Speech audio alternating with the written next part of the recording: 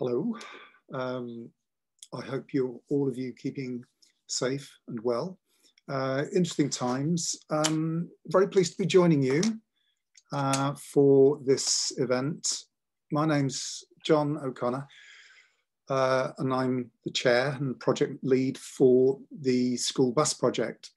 And in the background, uh, you can probably see uh, an image of our original big yellow bus, uh, Big Yellow, as we call it. And um, I'm going to tell you a little bit about our project and then uh, see if some of you may be interested in finding out more. Um, and some of you may even um, take some personal action um, in the context of what is still a continuing crisis for refugees and displaced persons. And as, as a sort of rough idea of what we're going to talk about or what I'm going to take you through, um, I'll give you a brief introduction to uh, who we are, the charity, um, what we've done in the past, and the situation that we respond to, and where we've got to in uh, early 2021. So I hope that'll be of interest. Um, I'm going to dodge about a bit and try and use uh, screen sharing uh, to add other bits while I talk.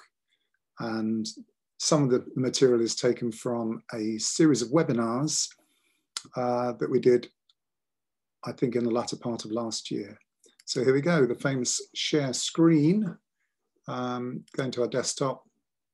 And I'm going to start with um, just playing you a very short promotion video. It's a little bit of information that will give you a feel for life back in Calais, the jungle, some time ago. Um, so here is Big Yellow getting ready to go on its journey um, across from the UK, sponsored by a passionate group of educators, of, ironically,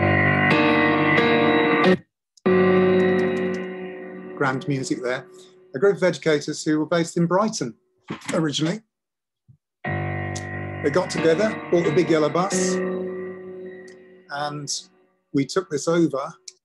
Right, let's just start again. Not happy with that.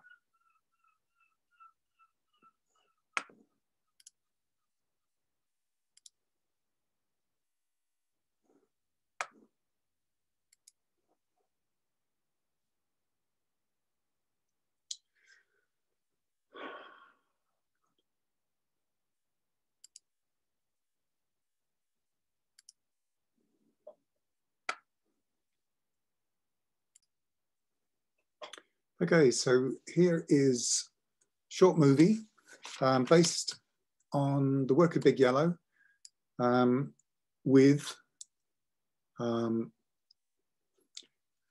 some images to give you an idea of what it was like working with uh, refugees, displaced persons in northern France, particularly Calais. Um, the project originated in Brighton. Uh, a group of educators looked over the channel at the peak of uh, the fairly well-known uh, jungle uh, settlement uh, with many communities from Sudan, Syria, Afghanistan, and more besides. Big Yellow Bus served in the original jungle, and then in 2018, we went back with a team, including Little Green, which you can see there in the background. And this is uh, a classic big school bus project activity with young people. Um, the classes ranging anywhere from three months, three month old children who've been born in northern France in the midst of chaos, uh, through the primary age range, up into teens, uh, up into adult education. It included recreation, music, uh, exercises like this one, dreams.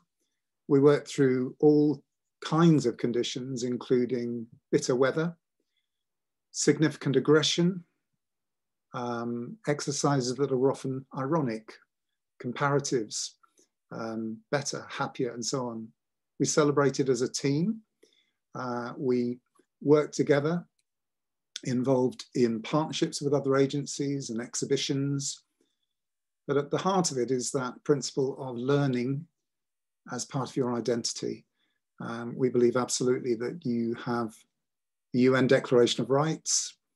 We've had support for those principles from all sorts of people at festivals and gatherings and community activism, jewelry makers, um, and uh, craft workers um, for all sorts of reasons. This is a shot of our recent project in Samos on the Greek island there, a place called The Nest, working with education teams like Action for Education. And this year was our fifth birthday, uh, 2020. This little screen shows some of the data and statistics. So that's where that little clip of film comes to an end.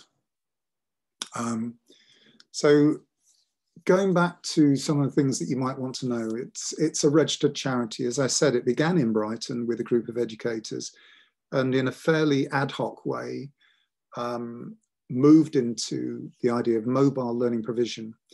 Uh, we supported teams, we built up teams of ed volunteer educators and managed and developed their abilities from backgrounds of teaching, youth service, social care, educational psychology, uh, all sorts of uh, skills that we brought together. And typically we'd have a team in uh, our Northern France work of anywhere from four to 10.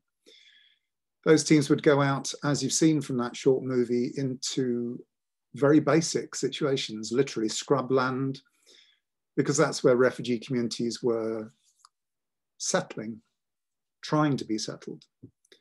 But as is the case up to date today, late January 2021, the state of France and the state of the United Kingdom um, have worked hard to create what in the UK has been known as the hostile environment, the desire to resist and push back displaced persons, disregarding at times uh, international law, which provides for asylum seekers to arrive in a country and state uh, their request for security um, and a place of safety. Um, I won't go for the moment into too much detail on the current policy framework, but I'm sure that you'll be aware, many of you, that it is indeed hostile. Um, I'm speaking to you actually from our bus project office base uh, down in Folkestone, which is where the photo behind me was taken. And we are obviously just a matter of a few hundred meters from the English Channel or La Manche, if you're seeing it from the other side. And it's always a good thing to see anything from two sides at least. So on a daily basis, currently, and for the last two, three, four, five years, there have been those who have traveled thousands of miles from their home or country of, of origin. They will have been moved by uh, causes such as warfare, famine, drought, economic disaster, um, personal crisis, to leave what was originally a place of security at one point in their lives. And the journeys they have made are quite epic, um, terrifying, disturbing. Um, we have met and worked with people who have literally crossed the Sahara Desert and come out the other side smaller in number than the group that entered that region. Uh, I remember distinctly working with a young person of 10 who on his own made the way from Afghanistan. He gave me a geography lesson of, I think, 16 or 17 countries he had, tra he had traveled through, crossed over, um, various attempts to enter into Europe before ending up with us in the school, the school bus project in Calais. Age 10, he lived fiercely uh, in an independent way, um, emerging actually quite often in temperatures of minus five, minus six from something resembling a gorse bush to get on board, shake himself down and look worried about us and say, how are you doing? You, you look tired, are you okay? And he fended off um, advances from predatory adults, uh, from traffickers, from competitors for his small pitch in a bit of scrubland where he was uh, coping with assortments of tarpaulins and tents and pieces of material provided for him, like many other refugees, by the collective that we joined in Calais called L'Auberge, eight organizations providing help in various forms. Um, we were the learning provider. Um, refugee uh, Community Kitchen provided meals and food to the best of their ability and continue to do so as we speak. Uh, Refugee Infobus provided access to communications, satellite, live from the middle of nowhere back to the middle of nowhere at home. Um, we worked with Refugee Youth Service very closely, who looked over the options for safeguarding and rights entitlement within the French system for young people, and so on and so forth. A collective. So our young friend learned with us, continued his learning journey, and demonstrated an extraordinary um, ability and level of learning preceding his time with us. I'm going to pause and I'm going to share a screen here, which is a set of slides which will help perhaps give a bit more structure to some of what I'm saying. But I hope it's giving you a flavour of what the project has been about, rooted in human rights, we use the strap line frequently of Article 26, which is Article 26 of the UN Declaration of Human Rights. And we have been involved in direct provision.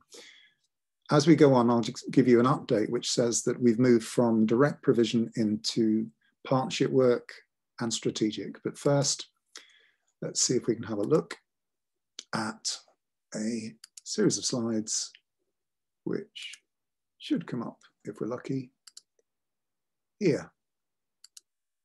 There we go. Um, I won't actually play the song, although I strongly recommend it. Tracy Chapman's version of Bob Dylan, Times They Are Changing, seems like a really appropriate soundtrack to 2021. Um, this particular section of the talk I'm providing for you as I said, it's one we've delivered to universities before. We see universities, higher education, as sites of community resilience and international solidarity. The academic and the learning context uh, provides um, a really important platform for considering the issues of refugee rights. We, we use the program uh, umbrella of Unified for obvious reasons. So what is Unified? Um, firstly, it's that concept of solidarity. I think it also, for us, represents the opportunity for reflection, analysis, and research. We want to be engaged with higher education to support practice in refugee learning provision and pedagogy. And to do that, you obviously will, all of you, I'm sure, embrace a, a consciousness of history, politics, and various ideas and issues there are links with other work and social movements such as STAR, um, which is a university movement. Um, if you haven't heard of her, it's worth looking up Baroness Helena Kennedy, who is a vociferous champion of human rights. Uh, she's a long-standing friend of the School Bus Project and has set up her own Article 26 foundation supporting refugee access to higher education. So the idea behind Unified, which you know we're, we're, opening up to yourselves, is we want to have a network of universities working alongside the Bus Project who will help us raise awareness, funds wherever possible for education-based projects, such as one we'll explain in a little bit more detail in Greece, the Greek islands, etc. And, and I think students at any age, any stage, and any studies would be involved in uh, such networks in their own communities. Um, mentioned briefly already where we come from, the genesis of the project and the work in jungle, but as I said, it's a Brighton. Uh, Brighton is one of our homes. Um, we do have a priority, a core priority of children and young people, um, but we work with all age groups and we believe strongly that this is about empowerment, it's not philanthropy. And, and that means working with. So many of the refugee community members we've met are actually teachers themselves, they're educators, they're highly qualified. Um, we think that the whole drive from here going forward is about building capacity. Um, and you'll have seen uh, some of that film material. Um, this is another little clip which shows us actually on a daily journey. There goes the bus, goodness me. Here's one of our drivers, which is um, you know, a, large number of people. Uh, this actually is a film that lasts a few minutes, so some data. 26 million, the number keeps going up. It hasn't diminished. The crisis is not going away. Um, I doubt if it will go away in my lifetime or yours. Um, some of the team welcoming people on board the bus, as I said, they used to be more worried about us than we were about them. Um, here's a student doing a flag. We looked at everyday sessions on biology. Let's just bring the sound uh, up. Ages and the levels that we have. Downstairs, we have more of a social space for the refugees to chill out, charge their phones, play chess, play um, cards. We're providing a really, really important role.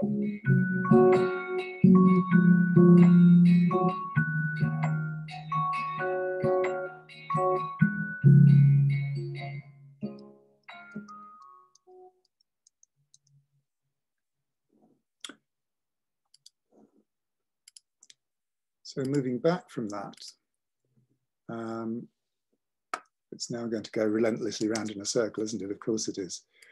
Uh, let me just get back to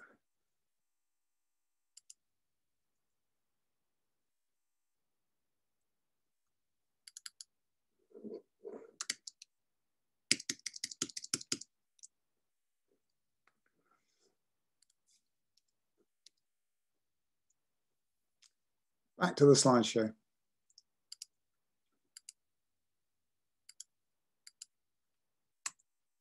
Here we go. Yeah, slight glitches technology. So thinking about the context we're working in, I'm in a rapidly changing world, information, data, statistics, um, absolutely blitzing us, information overload, particularly during the pandemic. So what we're reflecting on as an organization, and, and, I think part of this conversation is geopolitical convulsions. Great phrase. It's it's not a it's not a new type of indigestion. Um, I think it's a genuine, a, a, useful phrase, perhaps a shorthand for describing events in the United States, where the the context and the narrative over four years has been aggressive, insular, isolated, disconnected. However, that's galvanized a significant proportion of the population to share a worldview that is polarized and at one end of the extreme of humanitarian instinct. instinct. And in the UK, we're not um, immune from uh, either a virus or from those convulsions which divide us. Uh, the story of Brexit, without spending long on it, has shown an absolute polarization of those who feel we belong to a wider world or within a wider context and those who don't. So a convulsion, a short verse for it, short phrase for it. And I think what we've got um, currently going on is a series of movements that recognize global issues. Many people then personally identify or indirectly. You have a voice that's come through. And I'm, I'm using just two examples of how we're rethinking, many of us, rethinking how the world works, the interconnectivity of different issues. So Greta Thunberg, inspirational. Um, one of the first people to use the phrase, we're in this together, and fascinating and, and driving uh, metaphors. This house is on fire. Um, and phrases like the next urgency. Black Lives Matter, um, you know, the, the situation in the States um, reawoken, um, the United States reawoken to the urgency of disparity, inequality. Um, and in this country, the, the extraordinary dialogue of um, do we want a society which is segregated, uh, unequal uh, through institutional racism, uh, through a refusal to accept or understand or embrace uh, diversity and ability and talent, recognizing identity as it is, not as we would wish to see it necessarily, or not in our own perspectives or our own prejudicial perspective. And, and it's, um, you know, it's good to actually look at um, sources such as Spike Lee, you know, filmmaker who, whose response to the killing of George Floyd was put into a short film, Three Brothers, recommend it if you haven't yet had the chance to look at that. So in a, in a, in a strange world, so, social distancing, I think there are three paradoxes which I would connect with the way that the School Bus Project operates our philosophy and our vision. And there's an apparent proximity because we have social media, instant news, 10 seconds after hearing about an incident on the other side of the world, we might have a viewpoint. 20 seconds later, we express that. Within 30 seconds, we have an argument, which breeds a bit of alienation. It's a very reactive uh, condition. It's a very um, sort of strange way of communicating that is impersonal but has colossal impact at the same time. Um, so I think all of those things, um, we've found connection with universities in a number of specific uh, fields of training and, and, professional development, social care, education, research, and of course that underlying issue of access to higher education and equality. Um, for refugees, the access to higher education is negligible. Um, they face barriers even once in a settled status to get through the qualifying um, conditions um, of demonstrating uh, competencies through whichever system in the UK, obviously, uh, trying to access through further education or GCSEs or A levels and so on. Um, so we, we, I think we've covered this in what I've said already. That you know there are um, elements of international policy development that we want to challenge going forward. Uh, to do so, we, you know, we are inviting uh, personal interest and moral purpose. We, I think that there is an opportunity for intellectual growth for individuals and centres of excellence and academic research, action research. I'll pause before doing another slide and just briefly mention and, and offer further information for anybody interested. Going forward in 21, I think the school bus project is looking at two key areas of activity. We are less involved in direct delivery because of coronavirus and the situation in Europe, also complicated by Brexit and the new relationship between the UK and Europe. What we have done is continue support work in the Greek islands. In the north of Greece, we have a, a, a wonderful little partnership with Habibi Works. If you look them up, H-A-B-I-B-I, Habibi Works, and a little carpentry project. So we have a vehicle we provided to Habibi Works that uh, scuttles around some of the refugee camps in northwestern Greece around Ioannina. Um, Katsikas camp is one of those. And the project is very simply almost an IKEA uh, fold up woodwork bench provided into a, a, a, camp or a refugee community where there will be chippies and carpenters and DIY people so they're taken through a basic program of this is how you can use the workbench, which is kitted out with all the tools you'd expect. And then it's left there. So there's a program of self-managed uh, skills redevelopment, identity being sustained, cultural relevance, and so on. So our program going forward will continue to have those partnerships, but we are currently developing this concept of core, C-O-R-E, Centres of Refugee Education. And the idea behind that is that the myriad organizations who go out and support refugees in various ways, whether that be health, uh, well-being, um, stress and, and, trauma management, um, food, basic essentials, rudimentary shelter, support, advocacy in in, a, in sometimes a, a, bleaker mode, all of us in the bus project team feel that we've been um, a sort of a rotating box of elastoplast. We we arrive, we will support, we will make provision to the best of our ability in the most challenging of circumstances. And I say that as somebody who's been in teaching for 45 years. I've worked in many communities which had significant challenge in the UK. Nothing nothing compares with the challenge for somebody of any age who has no secure shelter, no certainty of food, no emotional um, resilience other than what they are able to drag from the depths of their experience and hold together, um, and very few actual rights, despite what international law might say. So the idea behind CORE, these centres of refugee education, is that there is a, a need now for a, a, paradigm shift, a complete scaling up of all the small agencies, the NGOs, the third sector and volunteers, thousands of wonderful people, actually, who give their time generously, their skills, and their humanity to a clear and very, very uh, enormous scale of need. And you will have seen, I don't need to complete you know, the picture by reiterating the journeys, the trauma of those who've lost their lives uh, trying to reach safety and security. But the idea is that we need to actually persuade major players.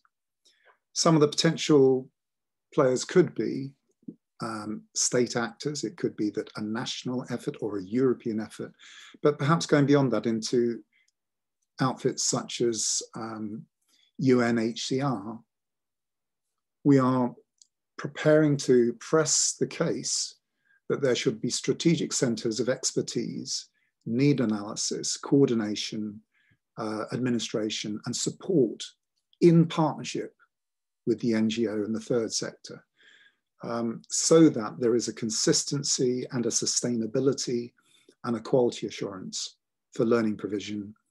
And by learning, of course, I mean, I, I suppose I've taken it as read that the definition is very broad ranging. Learning for us in the BUS project is cradle to the grave. Um, it's about identity, it is about who you are, it's about affirming human instinct, curiosity, aspiration, hope. So think about those things for us and let's talk further. Core. Um, Sheffield Hallam University, I'm just using as a quick case study where we've done some quite remarkable work together. We've had students on placements. Um, realistically, we're not in a position to offer that currently because of the circumstances I've said. But we worked over, you know, two years um, working with groups of students who became embedded in our team. We're given professional support, pastoral support, and have seen their experience embedded into the provision at Sheffield Hallam on some of their coursework, including training for uh, social care and other careers. Um, a number of different elements within that university. And if you go to their website, you'll be able to see more about what they're doing and might consider some of the similar activities that I'm sure that your university is also involved in. Um, it basically comes down to a partnership. It was about shared values.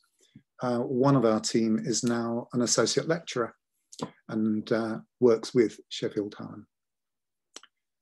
So various elements of how that came about, university engagement, looking at studies, supported workshops, uh, networks and support groups, and a longer term relationship. Those, those, I think, are the main elements of what Unified um, has been about and what we're continuing to be interested in developing as a network in the UK and beyond.